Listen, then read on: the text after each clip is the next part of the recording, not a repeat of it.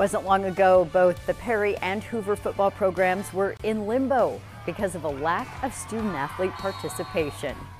Both programs have rebounded, and their fans have as well. WHO 13 Sports Director Keith Murphy joins us live from Mediacom Stadium with more on why tonight is so special for both the Huskies and the Blue Jays. Hi, Keith.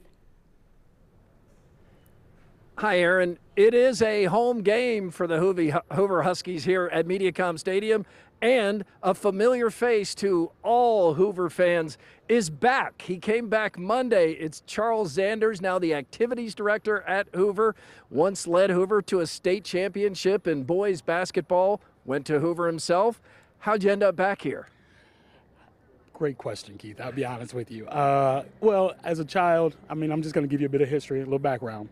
Uh, as a player at Hoover, way back a long time ago, I won't age myself, but I remember sitting. You had hair though. I did have yeah, hair. Okay. I did have hair, I, and less gray.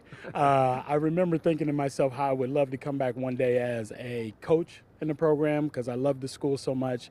And I also dreamt about being an AD because I had such a great relationship with Bert Adams, who was my AD at the time. And we got to hear great stories of the great teams that he had at Hoover. And, you know, I'll be honest, we used that to manipulate a little bit of getting out of class to hear mm-hmm. some stories. So, but it was always great memories. And when an opportunity presented itself, I guess the old saying, when home calls, you answer. Mm-hmm. And it was kind of that case. So I'm happy to be back. It's good to have you back. And what do you think about this as Hoover's home stadium? Absolutely amazing. Uh, you know, I was in AD for a certain amount of time for a school on the north side of town, which I'm very proud of that moment as well. But we actually played at the Drake Stadium. So it was pretty common for me. So to move over here, it's still, still very familiar, but also very new. And it's a beautiful facility. And like I said, I've just been here since Monday, and I got a tour yesterday.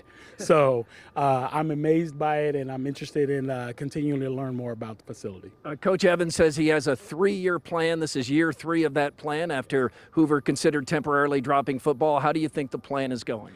In your first week on the job? Yeah, no, really. Oh, well, first of all, Theo, uh, Coach Evans, is an amazing individual first and then coach second. He loves these kids. He's really wrapped his arms around the community, the kids, and to grow this program.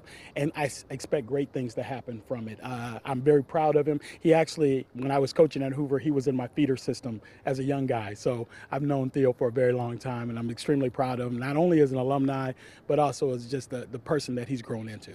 So to be in prime time here to kick off the season on a Thursday night against another team that would love to start the season with a win, the Perry Blue Jays. Uh, what's the buzz like in the in the Hoover community?